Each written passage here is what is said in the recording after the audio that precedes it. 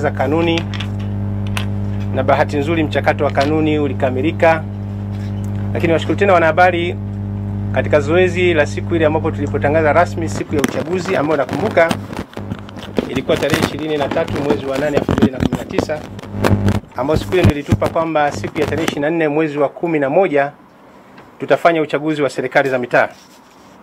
Lakini washukuru tena wanahabari wote kwa kazi kubwa mlioendelea kuifanya ya kuelimisha umma katika uchaguzi wa serikali za mitaa. Mimi nikiwa kama waziri wa nchi ofisi ya TAMISEMI lazima niendelee kuwashukuru wanahabari wote, kwa kweli mmefanya kazi kubwa na mnaendelea kufanya kazi kubwa katika kipindi cha sasa. Lakini kama ninavyokumbuka ni kwamba mnamo kuanzia tarehe ishirini na tisa mwezi wa kumi elfu mbili na kumi na tisa mpaka tarehe tisa mwezi wa kumi na moja kipindi hichi chote kilikuwa kinahusisha matukio ya uchukuaji wa fomu, urejeshaji wa fomu, hatua za pingamizi, hatua za rufaa. Na kama tunakumbuka ni kwamba kuanzia tarehe 29 mpaka tarehe 4 ilikuwa zoezi la uchukuaji na urejeshaji wa fomu, lakini siku ya tarehe tano ilikuwa ni siku ya uteuzi. Baadaye hapo ikafuatana masiku ya mapingamizi, masiku ya rufaa. Kwa hiyo katika zoezi hili la kuchukua fomu jumla ya wananchi laki tano hamsini na tano elfu na thelathini na sita kutoka vyama mbalimbali vya siasa wali, walifanikiwa kuchukua fomu za kugombea nafasi mbalimbali na jumla ya wanachama wale waliochukua fomu au wananchi waliochukua fomu laki tano thelathini na tisa elfu mia tisa na tisini na tatu sawa na asilimia tisini na saba pointi tatu walifanikiwa kurejesha fomu zao. Kwa hiyo hii ina maana waliochukua fomu na waliojesha fomu, tofauti hapo ni sawasawa na asilimia 2.7 ya watu tu ambao hawakurejesha fomu. Kwa hiyo hapa kitendo cha kuchukua na kurudisha fomu kwa kiwango kikubwa kilienda vizuri, kwa sababu wengi walirudisha fomu yao fomu zao kwa wastani ya asilimia 97.3. Wagombea kutoka Chama cha Mapinduzi waliochukua fomu walikuwa laki nne kumi na mbili elfu 872. Wagombea kutoka Chama cha Mapinduzi waliochukua fomu walikuwa laki nne kumi na mbili elfu mia nane sabini na mbili ambayo ilikuwa ni sawa na asilimia sabini na nne ya wagombea wote. Chama cha Demokrasia na Maendeleo waliochukua fomu walikuwa laki, laki moja elfu tano mia tisa thelathini na saba sawa na asilimia kumi na tisa ya wagombea wote. Wagombea kutoka Chama cha Wananchi kafu waliochukua fomu walikuwa 24592 sawa na asilimia 4. Wagombea kutoka ACT Wazalendo waliochukua fomu walikuwa 8526 sawa na asilimia 1.5 ya wagombea wote. Chama cha NCCR Mageuzi waliochukua fomu walikuwa 2244 sawa na asilimia 0.4 ya wagombea wote na vyama vingine vyenye usajili wa kudumu wao wamechukua fomu chini ya asilimia 0.1 kila chama. Maanake wengine sisi, ukiangalia idadi ya waliochukua fomu wengine utakuta singine saba, nane, sita, wengine wamefika mia mbili. Kwa hiyo hiyo maanake wote wamechukua fomu chini ya asilimia 0.1. Katika zoezi zima la kuchukua fomu na kurejesha fomu kulikuwa na changamoto kubwa sana kwa upande wa wagombea wengi kufanya makosa mengi ya kikanuni yaliyopelekea wagombea hao kutoteuliwa. Kama tulivyosema, tarehe tano ilikuwa siku ya uteuzi, lakini katika ujazaji wa fomu wagombea wengi, zile fomu inaonekana wengi walifanya makosa mbalimbali ya kikanuni. Baadhi ya makosa hayo ni pamoja na wengine walijidhamini wenyewe ambao ni kinyume cha kanuni zetu, wengine walishindwa kujaza fomu namba nne wengine kutofautiana kwa majina, wengine kujaza fomu, kutojaza fomu kwa ukamilifu, mtu amejaza fomu tu kipande tu, wengine hata umri ulikuwa singine, wengine wamekosea umri. Kwa mfano, mnakumbuka hata fomu moja ilikuwa inatembea nasema mtu amezaliwa mwaka 2019. Sasa fomu hile ina maana kwamba ukimteua mtu maanake inaonekana kwa mujibu alivyojaza mwenyewe amezaliwa mwaka 2019 na makosa mengine mengi mbalimbali. Kwa hiyo katika swala zima la fomu, zile fomu, kwa mfano hapa ningezi ningezi nani, mngeona hayo makosa. Kuna makosa mengi mbalimbali ambayo yalifanywa na baadhi ya wagombea, ndiyo maana majina yao yalishindwa kuteuliwa, na hii ilitokana na baadhi ya vyama vingi vya siasa kushindwa kuwajibika ipasavyo katika kuwaelekeza wanachama wao. Vyama vingi vya siasa vilishindwa kutimiza wajibu wao kuwaelekeza wale wanachama wao utaratibu mzuri wa kujaza fomu kwa kwa mujibu wa kanuni. Na kumbukeni, mwaka huu uchaguzi wa mwaka huu tumeandaa kanuni bora kabisa ambapo kila mtu anapaswa kuifuata na kila tumezigawa hizo kanuni mpaka katika mitandao. Kutokana na hali hiyo, ndio maana tulisema watu wawasilishe mapingamizi na watu wawasilishe mapingamizi, watu wawasilishe rufaa, kwa lengo ni kwamba kamati zetu zile ziweze kupitia baadhi maeneo mbalimbali. Lengo kubwa ni kwamba kama kuna makosa mengine madogo madogo, nini kifanyike, kamati zitaweza kuamua. Katika mchakato huo, naomba niwaeleza kwamba jumla ya mapingamizi na rufaa yapatao elfu yaliwasilishwa yaliwasilishwa mapingamizi elfu kumi na tano mia tatu na themanini hadi zoezi la maamuzi ya rufaa mbalimbali lilipohitimishwa tarehe 9 mwezi wa 11 2019, ina maana jana, zoezi lilivyohitimisha, jumla ya rufaa elfu nne 921 sawa na asilimia 32 zilipitishwa na zilizobaki zilikosa sifa kwa sababu mbalimbali. Kwa hiyo asilimia 32 baada ya zile fomu zingine, kamati hizi zetu za, za rufaa, haya mapingamizi mengine yali yaliweza kupita, ina maana wengine waliqualify. Kwa hiyo ni sawasawa na asilimia 32 ya zile rufani mbalimbali zilizopelekwa. Katika mchakato huu wa kuchukua na kurudisha fomu Chama cha Mapinduzi kimefanikiwa kupita bila kupingwa katika maeneo mbalimbali kwa kuwa hapakuwa na mgombea yeyote kutoka katika chama chochote cha upinzani.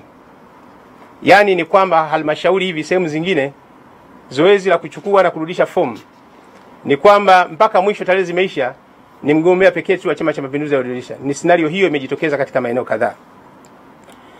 Kwa hiyo kwa upande wa wenye viti wa vijiji katika sehemu ambazo hakuna mgombea, sio kama kuna mtu amewekewa pingamizi, hapana, hakuna mgombea yoyote wa chama kingine aliyejitokeza. Kwa upande wa wenye viti wa vijiji, Chama cha Mapinduzi kimepita bila kupingwa katika vijiji elfu sita mia mbili na arobaini na nane kati ya vijiji elfu kumi na mbili mia tatu na kumi na tisa sawa na asilimia hamsini na moja. Vijiji hivi manake ni Chama cha Mapinduzi pekee ndio walichukua fomu na kurudisha fomu. Kwa hiyo jumla ya vijiji 6248 kati ya vijiji 12319 sawa na asilimia hamsini na moja. Kwa upande wa mitaa, Chama cha Mapinduzi kimepita bila kupingwa katika mitaa 1169. Hapo hakuna mgombea yoyote wa chama kingine chochote alijitokeza kati ya mitaa 4263 sawa na asilimia 27. Kwa upande wa vitongoji, Chama cha Mapinduzi kimepita bila kupingwa. Hakuna mgombea yoyote wa chama chochote aliyochukua fomu katika kitongoji hicho. Katika vitongoji 37505 kati ya vitongoji 64384 sawa na asilimia hamsini na nane ya vitongoji vyote. Kwa hiyo vitongoji vyote asilimia hamsini na nane kabla uchaguzi, wale waliogombea kutoka katika Chama cha Mapinduzi walikosa wenzao wa kuweza kupingana nao katika maeneo hayo. Kwa hiyo ni sawasawa na asilimia hamsini na nane. Kwa upande wa wajumbe wa kundi la wanawake, jumla ya ya kundi lile wanawake elfu sitini na nne na themanini na tano wamepita bila kupingwa. Yaani katika kijijini kule wanawake wamegombea kiwa wamegombea wenyewe kwa wenyewe na wamequalify. Hakuna chama kingine chochote kijitokeza. Wapo elfu sitini na hawa wamepita bila kupingwa, na kwa kundi lile mchanganyiko, jumla ya wajumbe elfu sabini na tano mia tano na sitini wamepita bila kupingwa. Hakuna katika kijiji hicho chama kingine chochote isipokuwa ni wajumbe pekee wa Chama cha Mapinduzi. Sisi yetu ya kuchukua kurudisha fomu na uteuzi. Nilitaka ni mpate hii picha, wanahabari kwa ujumla wake, muone zoezi hili limeendaje, na naomba niwaambie kwamba ofisi yangu imejitahidi kufanya kazi kwa weledi mkubwa. tukijua kwamba uchaguzi huu ni uchaguzi makini, ni uchaguzi muhimu, ni uchaguzi kwa ajili ya mustakabali wa nchi yetu, na ndio maana mnaniona muda wote tuna focus toka mchakato wa kanuni, kila stage amua kuinvest muda mwingi na kazi zote. Hawa watu wangu hawalali muda wote, wengine hivi wako site kuhakikisha uchaguzi huu unaenda vizuri. Ndugu wanahabari, kwa kuwa imeonekana wazi kwamba wananchi kutoka vyama mbalimbali wamekuwa na nia kubwa ya kugombea nafasi mbalimbali za uongozi licha ya vyama vyao kutoweka umuhimu katika kuwaelekeza vyema wana, wanachama wao juu ya ujazaji wa fomu kwa mujibu wa kanuni za uchaguzi wa serikali za mitaa. Kwa hiyo ukiangalia kule site, wananchi wengi walikuwa wanatamani kujaza fomu kugombea na, nafasi hizi, lakini unakuja kuona wakati mwingine hapa nadhani kuna gap.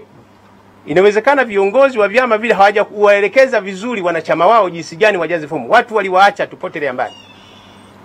Kwa hiyo hili tumeliona kama ofisini kwetu hapa, tumeliona hilo jambo limejitokeza, kwa sababu haiwezekani fomu zingine unaona kabisa haya makosa, wakati mwingine ni makosa ya dhahiri kabisa.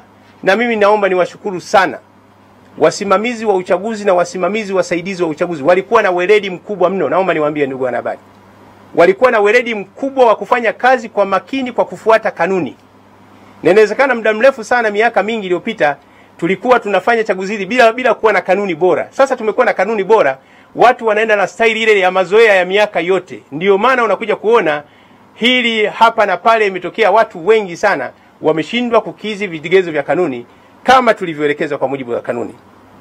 Sasa kama nilivyosema kwamba kwa kuwa imeonekana wananchi wengi sasa wamekuwa na hamu ya kuchukua nafasi za uongozi katika maeneo mbalimbali, lakini vyama vyao inaonekana hawakuweka nguvu ya kutosha katika kutoa elimu jinsi gani wanachama wao ambao wame, wamewapitisha wahakikishe wanasimamia vizuri ujazaji wa fomu uende vizuri. Sasa mamlaka ya uchaguzi imeona ni vyema wananchi hao kupewa nafasi ya kushiriki katika uchaguzi, kwani imejiridhisha wazi hata baadhi ya vyama viwili baada ya kujitoa. Nakumbuka hapa kulikuwa na chama cha Chadema kwanza walisema tunajitoa, lakini chama vile vile cha ACT Wazalendo nao wamesema wanajitoa. Lakini cha ajabu, naomba niwaambie wanahabari, mpaka jana mpaka jana zoezi kabla halijafunga, kuna wanachama wengine wa vyama hivyo bado wanaendelea. Nakumbuka juzi hapa nilikuwa ninasoma ile jana asubuhi hapa nilisoma takwimu zaidi ya elfu kumi na tatu na mia tano lakini unaona kwamba kila wakati wengine wanakimbia haraka kwenda kupeleka fomu yake akijua kwamba. Kwa hiyo tumeona kwamba wanachama au wananchi kwa ujumla, licha inawezekana sisi utashi wa viongozi tuliokuwa nao huenda na mitazamo yetu, lakini ukiangalia kule chini site ndio maana siku nimezungumza nilivyokuwa katika vyombo vibaya. Nimesema ndugu zangu, katika huu uongozi, em, kwanza tu, tujipime wote twende kwa pamoja. Nimetoa mfano, kwa mfano mtu leo yuko kule Milepa chini kule chini ya milima ya Liamba ya Mfipa. Yeye anatamani kuwa anatamani kuwa kiongozi. Mwingine huko Kakonko kule hata anatamani wa mwenyekiti wa kijiji kwake ni mkubwa sana. Mwingine mtu mwingine nafasi yote ya kitongoji, mjumbe anatamani mk... Kwa hiyo hii ndio nimeonyesha kwamba hata vyama vingine wamesema kwamba tunajitoa, lakini wanachama wao bado wengine wameendelea kuwa na matumaini na ofisi ya Rais TAMISEMI kwamba bado wamewasilisha rufaa mbalimbali, rufaa mbalimbali, lengo kwamba waweze kupata fursa ya kuweza kushiriki. Sasa ndugu wanahabari, kwa mujibu wa kanuni za uchaguzi wa serikali za mitaa za mwaka 2019 tangazo la serikali sura namba namba 371 la mwaka 2019, kanuni ya 49, tangazo la serikali namba 372 la mwaka 2019, kanuni ya 51, tangazo la serikali namba 373 la mwaka 2019, kanuni ya 52, na tangazo la serikali namba 374 la mwaka 2019 kanuni ya 52, ninatoa mwongozo kwamba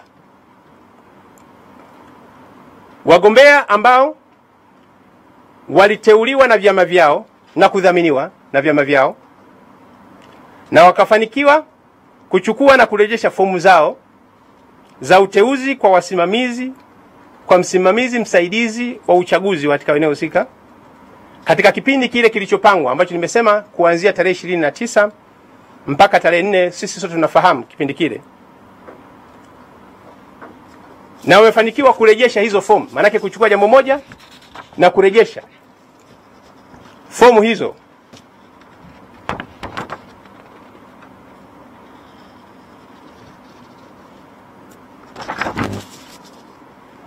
Kwa hiyo jambo la kwanza wamechukua fomu.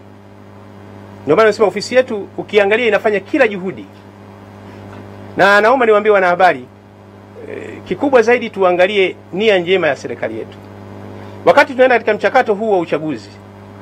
Tukumbuke kwamba kama nchi yetu inafanya mambo makubwa mno, haya mambo tunayofanya sasa hivi wenzetu wengine hawanayo. Naomba niwaambie ndugu zangu, swala la mfano miradi yetu hii mikubwa wengine hawatamani hata umradi mradi wa umeme wa megawati 2115 kuna wengine hawatamani, wanataka mradi uharibike. Wengine ujenzi huu wa standard gauge ya kisasa kwa fedha za Watanzania, wengine hawatamani litokee hilo, wanatamani liharibike. Wengine maendeleo makubwa katika sekta ya afya, sekta ya miundombinu ya barabara, sekta ya maji, wengine wanatamani liharibike na wengine wanaona kwamba inawezekana katika nafasi ya uchaguzi, inawezekana mambo hayo yote yakaharibika katika muda mfupi. Ndio maana nimesema kama Watanzania tuna kila sababu kutafakari kwa kina katika maeneo haya, na ndio maana nimesema kwamba wale wananchi wa kawaida wengi wao walikuwa na nia kubwa sana ya kuhakikisha kwamba wanashiriki katika uchaguzi.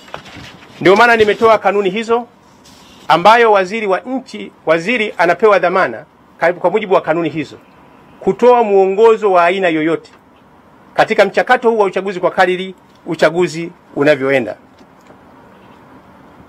Kutokana na hali hiyo, wale wote ambao walichukua fomu na kurejesha fomu zao walichukua na kurejesha fomu zao, ninazungumza ile asilimia tisini na saba pointi tatu walichukua hizo fomu zao na kurejesha. Hao wote ofisi, japokuwa kuna wale tumeona kwamba asilimia 32 walipita, lakini tumeangalia kwa busara pana, tusijiangalie sisi kama vyama vya siasa mbalimbali na tukasema tukatoa matamko tu tunajitoa na nini. Tuangalie watu ambao wana utashi kule chini wanataka kushiriki, na ndio maana tulitoa ule muda wa mapingamizi kwa rufaa, kutoa chansi zote tumetekeleza kwa mujibu wa kanuni kwa kadiri kila kipande kinavyohitaji. Hii ndio maana demokrasia. Hatuwezi kufanya demokrasia kwa kuvunja utaratibu, kila kitu kiende kwa utaratibu, na nimesema kwa mujibu wa kanuni hiyo. Sasa nimetoa mwongozo kwamba watu hao sasa wana haki. Naomba mwenye simu yake aweze kuchukua hapa kidogo.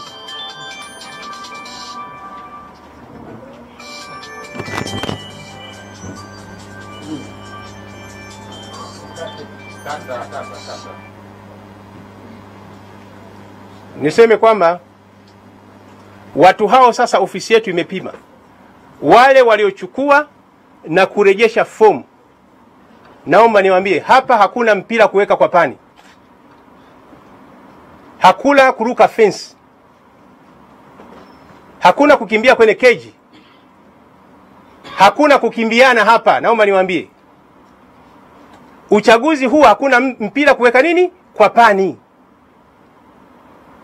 Kama mtu alipanga kuweka kwa pani, basi hiyo kwa uchaguzi huu unaosimamiwa na TAMISEMI hakuna biashara ya mpira kuweka nini kwa pani. Na kama boxing sijui ile ile mieleka, mtu umewekwa katika keji unajifanya kukimbia, hakuna kukimbia hapa. Hapa hakuna kukimbiana. Nimesema hakuna mpira kuweka nini kwa pani, hakuna kukimbia hapa mpaka kieleweke. Tarehe ishirini na nne mwezi wa ngapi? Wa kumi na moja. Wale wote waliochukua fomu na kurejesha, wote wataenda kushiriki katika uchaguzi huu wa serikali ya mitaa tarehe ishirini na nne mwezi wa kumi na moja, isipokuwa wale ambao watakuwa na maeneo yafuatayo. Hawa ndio kama mtu fo, nani ana sifa hizo fulani, manake hata kama alichukua na kurejesha, basi wale wasimamizi wa, wa uchaguzi wasaidizi hao watawadisqualify hawezi kuingiza. Jambo la kwanza, kama singine ile fomu aliyorudisha yeye sio Mtanzania, hatuna sababu ya kumwingiza. Disqualification. Lakini hajaji sifa ya kanuni yetu lazima ajiandikishe katika mtaa husika. Kama hajajiandikisha mtaa huo, hawezi kuongoza kiongozi katika mtaa huo. Kwa hiyo maanake kama amechukua amerejesha, lakini hajajiandikisha katika mtaa husika, huyo maanake hatoweza kuingia katika kundi hilo. Ama singine kama amejiandikisha mara mbili, maanake amevunja kanuni zetu za uchaguzi. Mtu kujiandikisha mara mbili nini? Ni kosa. Kama singine kilichomtoa ni kwamba amejiandikisha mara mbili, ah, huyo sasa ame, ame, atakuwa amekosa fursa hiyo. Ama amejidhamini mwenyewe kwamba amechukua fomu, unapika mwenyewe, unakula mwenyewe, unamaliza mwenyewe, unaosha vyombo mwenyewe. Manake kwa mujibu wa kanuni, manake ameenda nje ya kanuni kabisa. Huyo aliyojichukua na kujidhamini mwenyewe, manake katika kundi hilo hatahusika katika kushiriki katika uchaguzi huo. Ama hajadhaminiwa na chama chake cha siasa, manake tutaka kila mtu adhaminiwe na chama chake cha siasa. Kama hajadhaminiwa, manake amepeleka fomu na amerudisha, kwa vile hajadhaminiwa na chama cha siasa, manake huyo atakuwa hana sifa hiyo ya kushiriki katika uchaguzi. Wamerejesha fomu watu wawili, yani chama kimoja katika eneo moja la nafasi moja, ki chama kimoja kimerudisha watu wangapi? Wawili. Kwa hiyo ina maana hao tuseme wame disqualify, wamekuwa disqualified wote. Manake hao sasa by default watakuwa nini? Kwa sababu hakuwezekani katika chama kimoja kiwe na watu wawili wanagombea nafasi. Kwa hiyo wote sasa wawili watakuwa wametoka, hawawezi kushiriki. Lakini kama amejitoa, mnakumbuka kanuni yetu hapa. Kama amejitoa kwa kanuni ya uchaguzi wa serikali za mitaa, tangazo la serikali namba 1371 la mwaka 2019 kama kanuni ya 19 inavyosema, ama tangazo la serikali 372 la mwaka 2019 kanuni ya 20 ama tangazo la serikali 373 la mwaka 2019 kanuni ya 20 pia ama kama tangazo la serikali namba 374 la mwaka 2019 kanuni ya 20. Zile mtu kama mtu yeye ameteuliwa na kila kitu, lakini baadaye nini ameamua kufanyaje? Kujitoa. Kama mwenyewe akiamua kujitoa, asema ah, hiyo haina shida. Kwa hiyo watu wote wataweza sasa, waliochukua na kurudisha fomu kwenda kushiriki. Ndio maana nimesema hapa hakuna kukimbiana ila isipokuwa kama mtu ana dosari hizi za uraia na nini, ah ah, hizi sasa atakaa pembeni.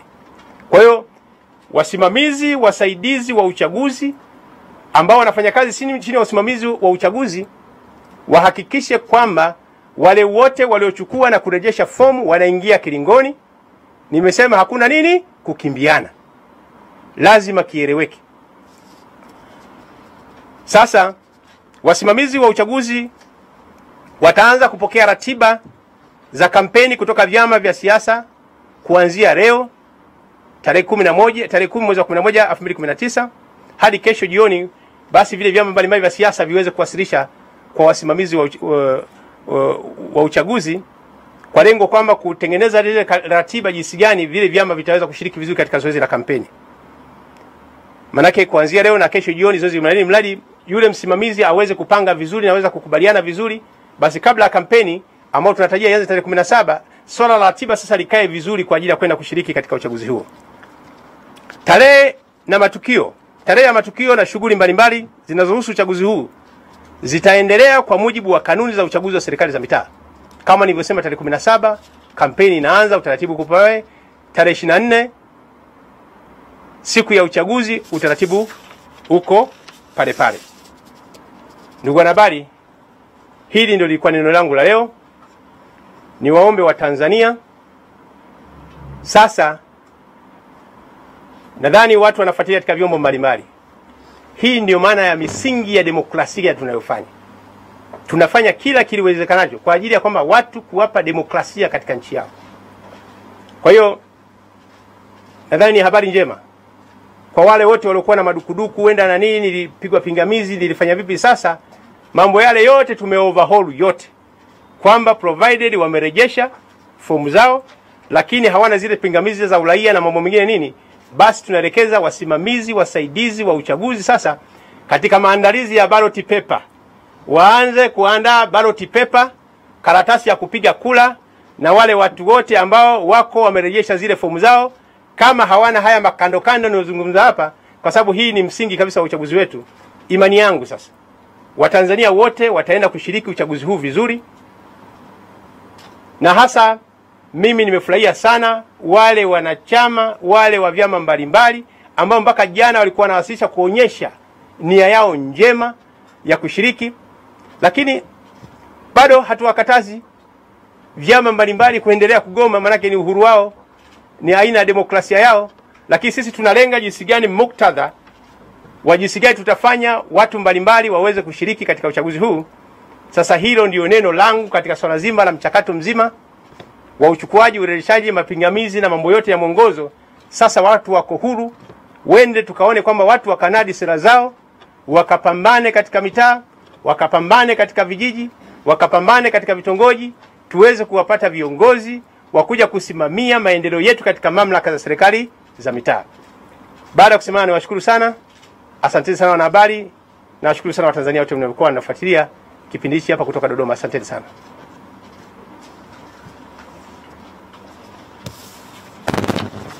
na taarifa hizi tutaweka katika website yetu, mtu ataweza kuona, na katibu mkuu wangu ofisi ya TAMISEMI sasa eh, leo hii utatoa nani maelekezo kwa wasimamizi wote wa uchaguzi, kwa sababu wanao wale watoa wale wagombea wote, provided vitu hivyo nani wote watashiriki katika maandalizi ya ballot paper, watashiriki, tutaenda kupambana katika ucha, wataenda kupambana katika uchaguzi.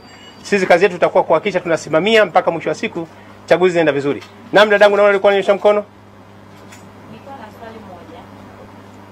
Umezungumzia kuhusiana na kwa hivyo vyama vingine, kwa sababu kuna chama kingine ambacho kimejitokeza leo kwamba kimesusia uchaguzi, kimesusia na umesema kwamba wataendelea kuomba. Wakati wanatoa hiyo waendelee. Wakati wanatoa hiyo taarifa, walishauri serikali kukutana na hivyo vyama kwa ajili ya kufanya mazungumzo kuhusiana na huo uchaguzi, lakini matokeo ambayo yanaendelea kutokea kwa wanachama kujitoa, vyama kujitoa. Unalizungumzaje hilo kama Ah, vyama kujitoa, watu wana hiari yao. Sisi ndio maana tumesema sisi hatufanyi kazi kwa mihemko. Naomba niwaambie, na sisi ofisi yetu haifanyi kazi kwa pressure. Kama mnakumbuka toka mwanzo, sisi hatufanyi kazi kwa pressure, hatufanyi kazi kwa miemko, tunafanya kazi kwa mujibu wa kanuni. Na niwaombe ndugu zangu, tufuate kanuni, ziko wazi. Ndio maana nimesema hapa wazi kabisa, hayo mambo ya kukutana sijui nini nini, kanuni kila kitu inaeleza. Mbona wengine watu wanajitoa, hata ule muda wa, wa, wa pingamizi wa rufaa haujaisha, kiwa watu wanajitoa, unaona kama huyu mtu ana nia gani, mpaka unapata mashaka, huyu alikuwa ili jambo alilipanga tokea mwanzo. Ndio maana nimesema hapa, kila mtu ana uhuru wake, silazimishi watu kujitoa, wala silazimishi watu nini kubaki. Mimi nimezungumzia misingi ya haki za watu kule chini, misingi. Kwa hiyo kila chama kupanga ni nini? Ni kuchagua hata vyotake mwenyewe. Sisi tulichofanya kama kazi yetu ofisi ya TAMISEMI kuhakikisha tunafanya kila kitu kwa mujibu wa kanuni, kuhakikisha watu wa, wanapata haki zao za msingi za kushiriki uchaguzi huu. Kwa hiyo aliotaka kujitoa, kwa hiyo waliojitoa wakitaka kurudi, yaani huu mlango, kwa sababu katika kwa mujibu wa kanuni zetu haijasema kanuni yetu chama kinapojitoa, isipokuwa imesema kanuni yetu mtu anapojitoa, mgombea anapojitoa. Ndio maana jana nadhani mliniuliza kwamba mheshimiwa, mbona nadhani ile kwamba je, wale watu vyao vile je, rufani zao rufani zao zitaweza kushughulikiwa? Ah, rufani umesema zitashughulikiwa sisi kwa mujibu wa kanuni, kanuni ya 20, kanuni ya 19, tangazo 300 371, kanuni ya 20, tangazo 372, 373 mpaka 374. Yote inasema kwamba mtu anazungumza kujitoa, sio chama kinazungumza kujitoa, ni mtu mwenyewe yule anaenda kuchukua fomu. Kwa hiyo ndio maana tumesema hii sasa ni haki ya msingi. Chama chochote chenye kina utashi wake, lakini sisi tunachokifanya kufuata kanuni tusiende hii kutofuata kanuni. Ndio maana tunafika muda watu mpaka fomu zinaharibika, sababu watu hawataki kufuata kanuni. Na mimi naomba niwaambie, mimi sio mwanasheria, lakini nataka niwe niwe niwe mwalimu wa kuelekeza watu kanuni, kwa sababu watu kufuata kanuni, na hapa nilichozungumza ni kanuni tupu. Lengo kubwa ni kwamba kanuni tumezungumza zimeleta Sasa imani yangu, mtu nikimwona singine anaendelea kugoma, basi huyo hana lake jambo. Yaani naomba niwaambie wazi wanahabari, kama leo hii kuna mtu ataendelea kugoma, basi huyo alikuwa hana ajenda, ana ajenda nyingine, huenda zingine ametumwa na watu wengine katika uchaguzi huu. Naam, karibu. Mheshimiwa Waziri, umesema moja ya sifa ambazo zinamdisqualify mgombea ni endapo hajadhaminiwa na chama chake. Mm. Je, endapo chama chake hujitoa kwenye udhamini, huyo ana kanuni zinasemaje? Fomu zilivyopokelewa pale, kila chama sawa, kilipokea fomu ambazo za kudhaminiwa sawa, mtu aliporejeshwa. Kwa hiyo ina maana zoezi hili lilisha katika mchakato wa tarehe 4 mpaka tarehe 29 mpaka tarehe 4. Kwa hiyo maanake kama mtu sengile fomu alivyoirejesha mwanzo ilikuwa haijadhaminiwa mwanzo. Sawa? Haijadhaminiwa. Maanake huyo mtu sasa alikuwa hana chama cha siasa cha kumdhamini. Kwa hiyo maanake na uchaguzi huu tunataka watu wagombea kutoka katika vyama vya nini? Vya siasa. ndio maana lazima awe amedhaminiwa na chama chake. Lakini otherwise nadhani jambo hili maana na qualify yale makosa mtu sio amekosea nini, amekosea spelling, anafanya nini. Ndio maana tumesema jambo hili sasa, swala la wasimamizi wa uchaguzi wetu, haya mambo yote tuna nani, tunachotaka ni kwamba mtu kwa vile ameonyesha nia akapambania provi- provided kama ni raia wa Tanzania na vile anatokana na chama cha siasa na yale mambo yote ambayo nimezungumza hapa, mambo mengine yote tumeya overall kwa lengo kwamba watu wende wakapatia haki ya, ya msingi ambayo ukiangalia mambo mwanzo, sijui mtu kaandika spelling kakosea hivi, sijui kafanya vipi, sijui kafanya vipi, ambayo ni makosa ukiangalia ya kawaida madogo madogo, lakini ilikuwa ni makosa ya kikanuni aliyofanya. Ndio maana tumesema hayo yote, wasimamizi wa uchaguzi wale wa nani kule wasaidizi waende wakanani kuhakikisha watu hao sasa wanaingia katika ballot paper, kama mtu kupigwa akapigwa kule kwa wananchi. Mwingine basi nawashukuru sana ndugu zangu, niwatakie kila la heri, uchaguzi mwema, tukutane tarehe ishirini na nne mwezi wa kumi na moja. Hakuna kuweka mpira kwa pani. Tukutane tarehe ishirini na nne mwezi wa ngapi? Wa kumi na moja. Vyama vikapambane kuanzia tarehe kumi na saba mpaka tarehe ishirini na tatu kampeni. Nendeni kapambane katika kampeni. kampeni. Asante sana kunisikiliza. Mungu awabariki sana jamani.